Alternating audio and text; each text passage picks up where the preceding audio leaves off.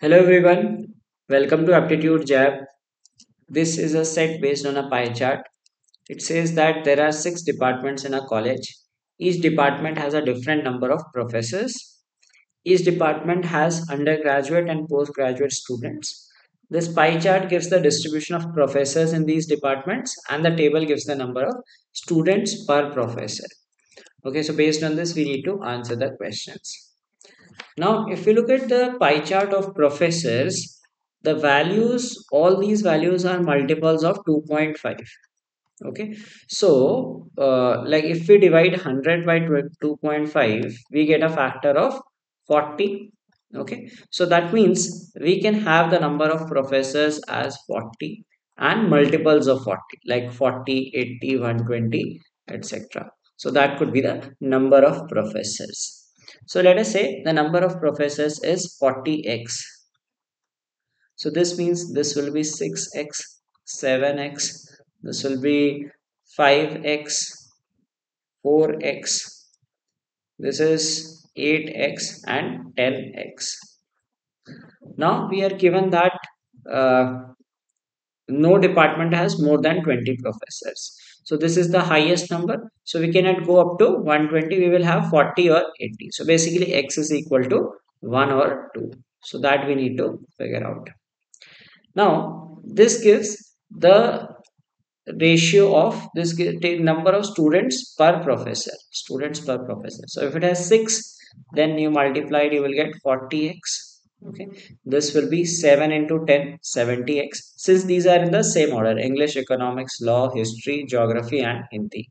So third is 5x this is 30x okay then 15 into 4 60x then 3.75 into 8 is 30x and we have 10x and into 4 40x now x is 1 or 2 now next thing we are given as there are two kinds of students, undergraduate and postgraduate students. Okay.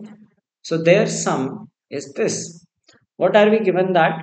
The number of undergraduate students in a department is a positive multiple of 10, not more than 90. So it ranges from 10 to 90. Okay. Uh, may not be uh, this may not be all numbers possible but that is the range given to us. It cannot be beyond 90, it cannot be less than 10. The number of PG students in history and economics is 20 and 40 respectively. History it is 20, economics is 40. Okay. Now if you take x is equal to 1, the total will be 70. If you take x is equal to 2, the total will be 140. But if we take 140 here, we will get UG as 100 which is against this condition which says that you cannot have more than 90 numbers 90 students in the UG section. So this means that uh, this x is 1 okay so we get a unique value of x and then we can answer the questions. So these are the number of students in these colleges in these departments. So it has 30 and it has 40 students right? Now uh, we will have to answer the questions. We cannot fill further data because that is the only information available hmm. with us. So the first question is how many students are there in the college? So simply add these values 110, 140, 200, 270. How many departments definitely have more PG students than UG students? So if you look at this department, it has more PG students, 40 PG students and 30 UG.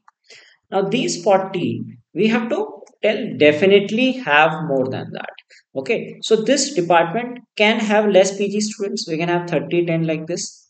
Okay, in this department also we can have 20, 10 more UG students. In this also we can put 20, 10. In this also we can put 30, 10. So these definitely, we cannot say that these have more PG students. But only in economics we can say that it definitely has more PG students. So the answer is 1. We cannot determine the number of students in other departments, but we can tell that only economics definitely has. Rest of them may have subjective conditions. If no two departments have an identical number of UG and PG students, what can be the maximum number of PG students in the college? Now, what do we mean by identical number of UG and PG students? So this means let us say a college has 30 students it has 10 and 20 now if another college has 30 students it cannot have 10 and 20 it will have 20 10 it can have 30 10 etc okay? So this is the thing we need to keep in mind. Now we need to find the maximum number of pg students. Now if you look at this condition right uh, the first one that is english we need to maximize pg so we can go up to 30 and make it 10 we need to put the maximum here so we will put the maximum possible which is 30 we cannot make it 40 otherwise ug will become 0 so we will keep it at 30 then next comes law so we can put maximum 20 we'll try to give minimum to ug now when we come to geography we cannot put 20 and 10 although this is the maximum number of pg students it can have it says that identical number should not be there. So we cannot put 20 10 we will have to put 20 in ug and 10 in pg okay. Then if we come to hindi we cannot put 30 here because 30 is 30 10 combination is already done. So we can at max put 20 and 20 here. So this is the total that we have to get. So this is uh, uh, 50 50 uh, 70 90 110 120 140 so we have the total as 140 okay next question is uh, which of the following cannot be the ratio of UG students in law to UG students in Hindi? UG students in law to Hindi. So 1 ratio uh, 3 will happen when 10 and 30 are present. Okay. Can law have 10, 10 UG students and Hindi have 30? Yes, that is possible. See, it is independent of the previous question, right? This These are independent questions. Do not take number from this so law can have 30 10 and 30 possible because 30 40 are there so it is possible 2 and 1 we can have 20 and 10 that is also possible okay then 3 and 2 can law have 30 students and 20 here see we are not given that any of the some students might mark this as the answer but see that it is not given that law cannot have like there is necessarily PG students. No, none of the statements say that you need to have PG students in a college. Okay, so it is possible to have 30 and 20 also. Then 4 ratio 3 means like if you take, uh, since these are all multiples of 10, you have to take 40. You cannot make it 20 and 15, right? If you make any multiple of uh, 10 like this, if you make it 20, it will result in 15, which is anyway not possible. Okay and if you make 40 then this is 15 so we cannot have 40 ug students in law. So this ratio is not possible. Okay. Now coming to the last question which of the following statements is definitely false? Okay definitely false means that it should be false in all conditions. Exactly one department has no pg student. Okay so we are not given that see we are given that each department should have UG students as a positive multiple of 10 but no information about PG students. Okay we are just given about two departments. So a department can have no PG student right? It is not false. It can be true also okay so we have to tell which is definitely false. Two departments can have an equal number of UG and PG students. Okay so equal number of UG and PG student means like you will take a multiple of 20 so we can have 20 20 here right? Or uh, we have to think that can two departments have this? So this is 2020 okay? And similarly see this is independent of the third question and another department 30 30 is not possible we can have 20 and 20 so we can have two departments that have an equal number of ug and pg students so this is also not definitely false each department has a distinct number of UG students. Can each department have a distinct students? This is 40 uh, UG students. Okay, so this is 30, this is 40. Okay, so it cannot have like uh, there are six departments. Okay, so if you take multiples of six, so you'll have to take at least 10, 20, 30, 40, 50, 60. Okay, you'll have to take these different numbers.